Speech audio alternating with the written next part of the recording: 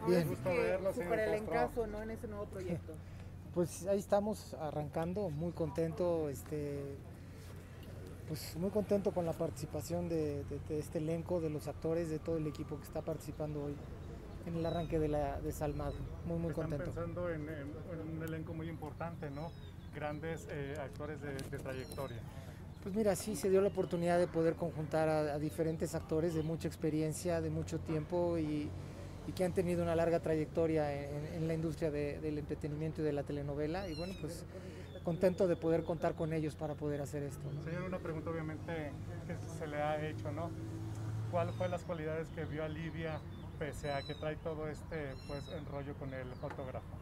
Mira, hicimos diferentes castings, diferentes pruebas y bueno, lo, lo que nos gustó de ella, lo que vimos en ella, pues obviamente es parte de su carácter, parte de su físico y bueno, pues tomamos la decisión de trabajar con ella. ¿no? Claro. ¿Y cómo, cómo también reuniste al demás elenco? Bueno, tienes A a, Marjorie, Marjorie, de Marlene. Sí, mira, o sea, hicimos diferentes pruebas, eh, estuvimos hablando con diferentes, eh, con, la, con diferente talento. El- lo- parte de lo complicado era poder conjuntar ciertas agendas, se pudo lograr. Y bueno, pues la participación de Marlene Favela, de Marjorie, de Eduardo Santamarina, que con él vuelvo a trabajar después de Rubí hace mucho tiempo, es alguien que le tengo mucho cariño.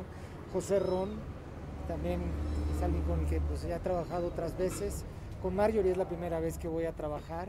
Eh, también está Alberto Estrella, Acela Robinson, eh, Kimberly Dos Ramos, eh, Laura Carmine, el negro Araiza, que con él es la primera vez que trabajo, aunque somos amigos de hace muchísimos años, Cecilia Gabriela, este, Sergio Bazáñez.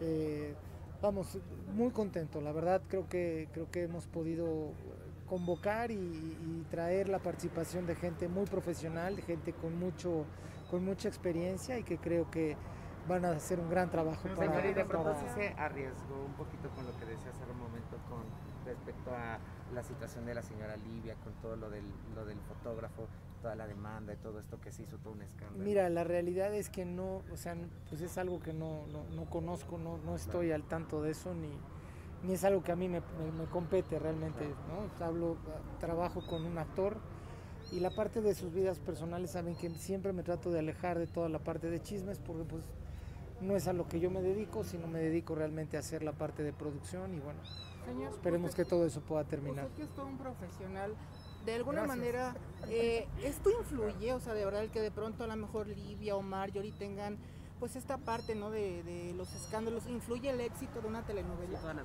Mira, la verdad, la verdad no creo. O sea, entiendo que a veces se aprovechan ciertos escándalos o diferentes gentes aprovechan escándalos, de- pero a mí nunca me ha gustado. Nunca me ha gustado basar mi trabajo ni el trabajo de la gente con la que participo en base a escándalos o a su vida personal. Creo que eso es totalmente aparte. Yo creo que el trabajo está en lo que uno hace en la pantalla, el trabajo está en lo que uno hace en su actuación, en su interpretación y eso es lo que vale la pena. Incluso, eh, por ejemplo, en el caso de, Marjorie y de Marlene, que en el pasado tuvieron a lo mejor diferencias y que ahora son muy buenas amigas, ¿no? También pasa eso. Pues mira, yo creo que yo creo que lo importante de esto es que, que, hay una hay la posibilidad de conjuntar el talento de gente que tiene una trayectoria y que van a poder se van a poder enriquecer mutuamente en el momento de estar en escena. Yo creo que eso, o sea, el beneficio el beneficio último de todo esto es el, es el auditorio, es, el espectador. Y poderlos conjuntar, pues qué maravilla, ¿no? O sea, no había habido los tiempos antes o no se habían dado los proyectos. Este es un esfuerzo muy grande de Televisa realmente en poder conjuntar a un elenco tan fuerte por el presupuesto, por las dificultades que hoy, se que hoy presenta esta circunstancia en la que estamos viviendo del COVID para poder trabajar. Pero pues no se ha escatimado en recursos, se ha puesto todo el empeño para poder lograrlo.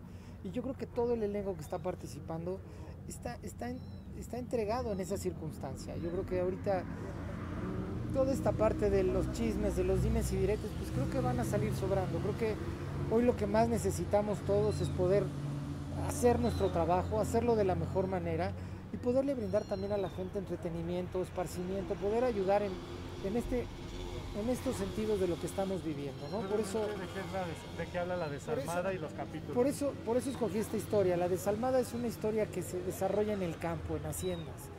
Yo creo que ahorita poderle también llevar a la gente imágenes de campo, de aire libre, de, de toda esta circunstancia de encierro, creo que va a ser algo agradable para poder tener en casa. Y es, es la historia de una mujer que viene a buscar justicia después de un maltrato que ella tiene en su vida. Que es el caso de Fernanda, y viene en la búsqueda de recuperar parte de sus tierras, que se haga justicia para su familia y su vida. Claro, oiga señor, pasando un poquito a otros temas, a Sofi la vemos